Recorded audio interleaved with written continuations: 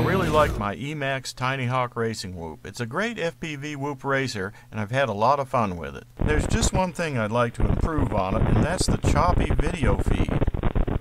Luckily the Tiny Hawk has been around for a little while and there's lots of feedback from pilots on RC groups.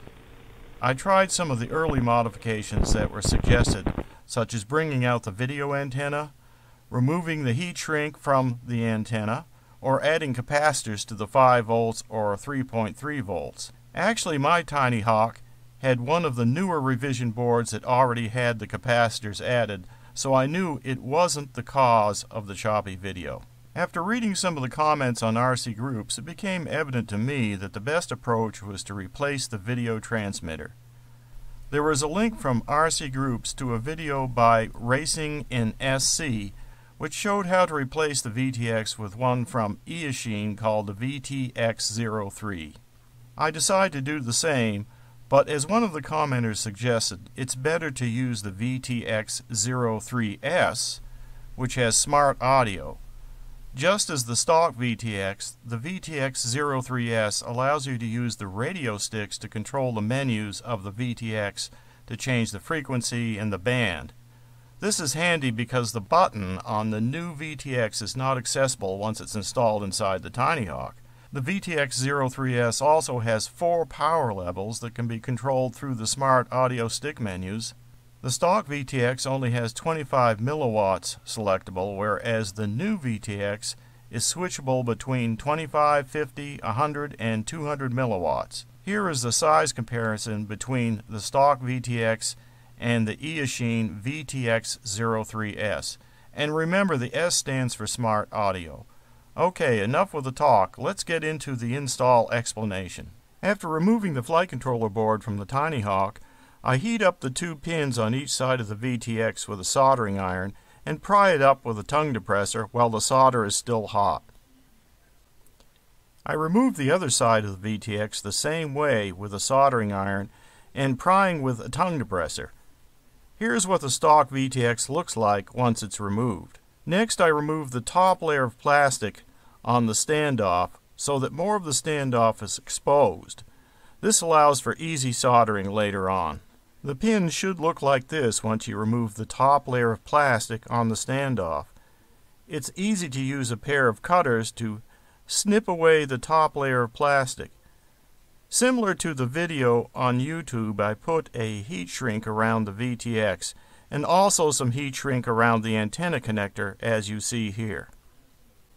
The wires coming out of the VTX03S are a little different than the VTX03. And of course there's the smart audio wire. I'll probably tie off the extra red and black wire to the camera and not use them at all. I'm going to use some double-sided tape to mount the new VTX to the main board, but I'm not going to place it right in the center. I will offset it a little bit to the right so that the antenna mount is not over where the grommet and the standoff would go for the case. So I just finished the soldering and you can see the yellow wire, which is the video wire, on the right.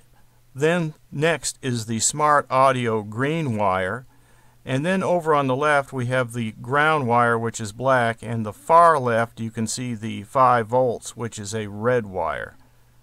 I didn't use these two wires which I'll probably tie off. They went to the camera and I don't need those. Okay now I've got a battery plugged in and I'm just going to give it a little test.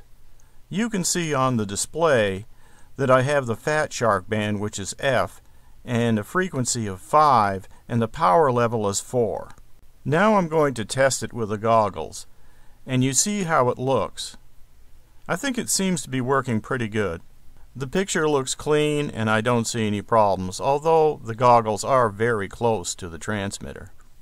Okay, so the Tiny Hawk is all back together now and I used some of this 3M double-sided tape to hold the board down to the main board. Surprisingly enough, I didn't have to cut out any of the case to fit the new transmitter into the Tiny Hawk. I also didn't put any heat shrink or hot melt to stiffen up the antenna, but I think it's going to be okay. We'll give it a try. So I'm pretty happy with the install. The Tiny Hawk looks pretty normal, almost like I didn't do anything to it at all. So now let's take it for a test. And here's the comparison between the stock VTX on the left and the Eachine VTX 03S on the right.